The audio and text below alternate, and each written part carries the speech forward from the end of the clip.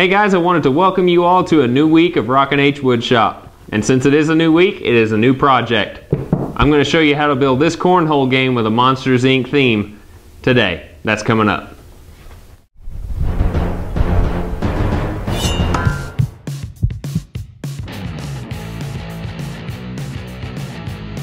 First, we're going to take this entire sheet of 3 quarter inch Baltic birch plywood and cut it in half 48 inches because generally 48 inches is the standard length for a corn toss board game.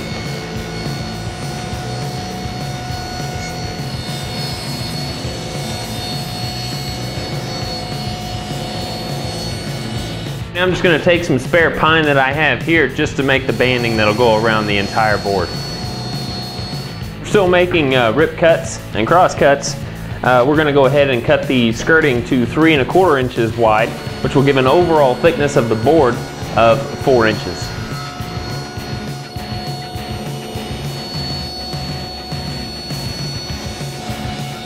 Now we're just going to take the crosscut sled and cut the length of this skirting and we're going to start with the long sections first and make them 45 and a half inches. We're just going to cut the top and uh, bottom sections of the skirt at 20 and a half inches, which will give the overall dimension of the skirt 22 inches wide by 45 and a half inches long. Butt joint the pieces of the skirt together, but in order to reinforce that, we're going to bring out our pocket hole screw jig and uh, take care of that. We're going to take these coarse threaded screws that are, I believe, an inch and a quarter inch, inches long uh, screw those together. Okay, now that the aprons are done, it's time to get busy on the uh, board itself and attach that uh, edge banding. Banding is going to be mitered around the top itself. And we're going to use our sled here to do those miters and then we're going to take them over to the sander and fine tune the miter as well as sneak up on it to make it nice, perfect fit.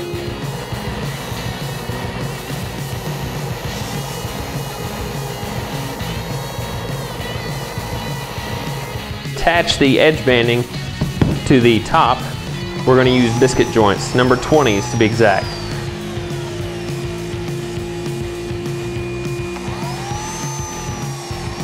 I got the panel up on my table saw cabinet and uh, gonna glue the edge banding on now. And a little tip that if you're ever gluing something on edge like this and you need it to stand up by itself, get you a quick grip clamp and put it on the bottom edge over here on the corner and it has a wide enough surface area to keep it propped up for you so it doesn't fall.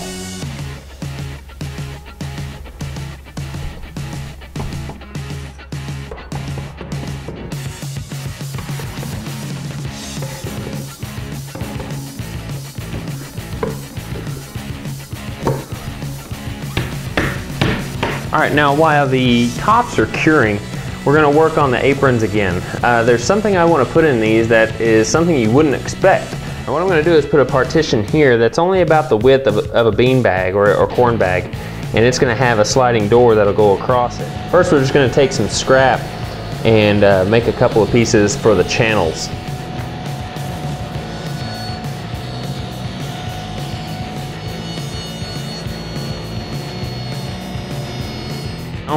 We're just gonna glue these flush with the top. With the guide rails installed, I can see how wide my partition needs to be. And it looks like it's going to be two and a half inches.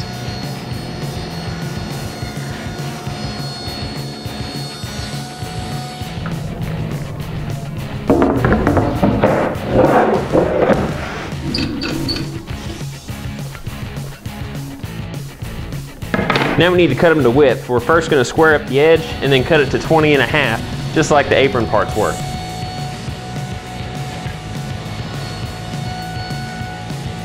And these are also going to get pocket screwed to the apron. Now the bags themselves are going to be six inches square. So what I've done is taken a couple of scrap pieces and cut a six and a quarter inch spacer just to give it a little extra room just in case.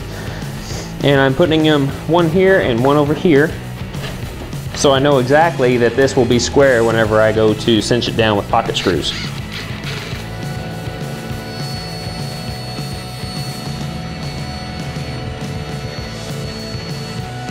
Now, I have a door to keep all the bags in place. Now we're just gonna make some pocket screws along the apron so we can attach it to the top. Now before we attach the apron to this top, we just need to make sure that all of the edge banding is sanded smooth and uh, flush. Just gonna take a uh, quarter inch round over bit and just go over all the underneath the sides of the top.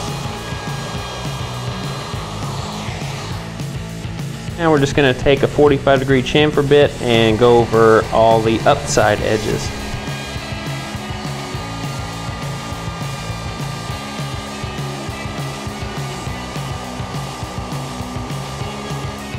Now we're just to attach the apron to the top with just a little glue and pocket screws.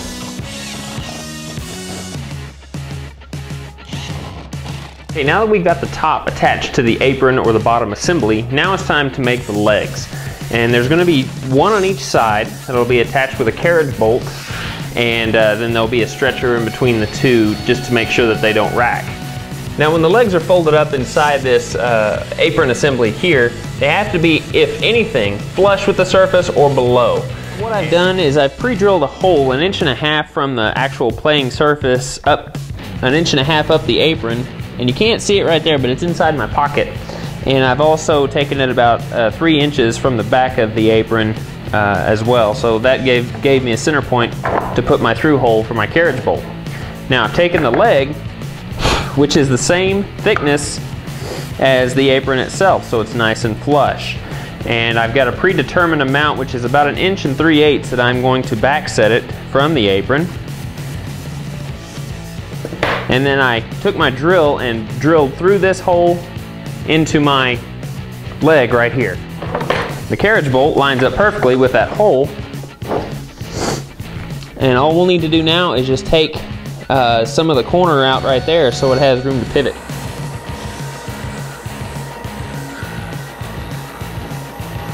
But we're going to take a double washer, then the leg, then another set of double washers, and a nut. And that's about right, right there. We're to take another nut on top of that. Uh, this turns with a little bit of resistance, so it'll stay put no matter where I put it. Now the next order of business is making a stretcher that's going to go across between the two legs.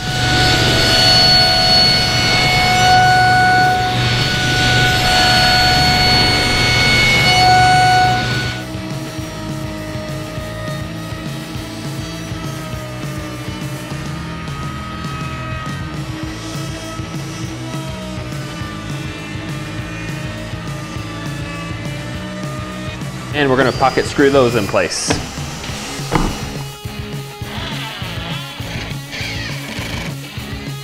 Now it's time to cut the actual hole for the corn bags to go through.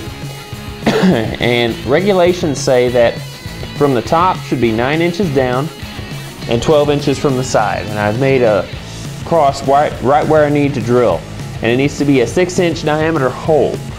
Now I know 6 inches is pretty big and most people would want to just try and cut it with a jigsaw.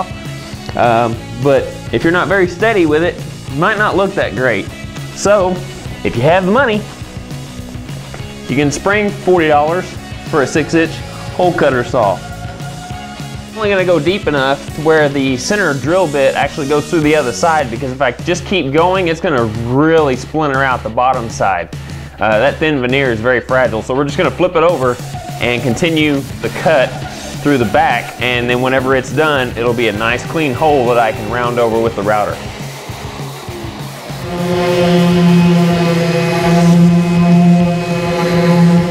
Paint job is very simplistic. It is a Monsters Inc. theme. So there's Mikey and Sully. We're going to paint one a bright green for Mikey, and then another one a coral blue with pink polka dots for Sully. We're going to sand in between coats to give a smooth finish, and then just coat them with a few coats of spray lacquer. That pretty much wraps up how to make a cornhole game. My wife finished the bags with a little help, and uh, we're, we're ready to play. I hope you guys enjoyed this episode. Please comment, rate, and subscribe down below. You can check out all my social media such as Facebook and Twitter and follow me on that. And if you are new to this channel, welcome. Please subscribe and let me know if you like this video by clicking that thumbs up button. Guys, I really appreciate it and I hope you have a great day. Please be safe in your shops and I will see you next week.